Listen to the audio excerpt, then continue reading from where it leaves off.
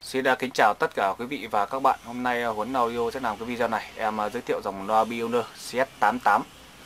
Dòng có cái nỗ bắt e căng, vít e căng từ ngoài vào nhé. Đây là bát 30, dòng gân úp ngược vào trong.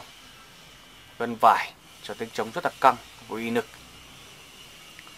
Và một trung 12. Hai chép giấy và một chép nìu đạn còn rất là chắc chắn, vuông vức.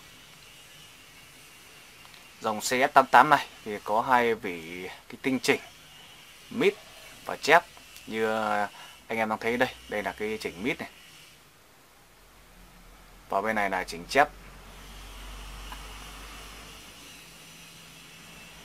Dòng uh, CS88 cho công suất uh, 60W trở kháng 8 ohm và sản xuất tại Nhật và đôi loa này được nhà em bán ra với giá là 12 triệu 500 nghìn đồng một đôi. Anh em có nhu cầu mua thì xin gọi trực tiếp được cửa hàng. Xin chào anh em.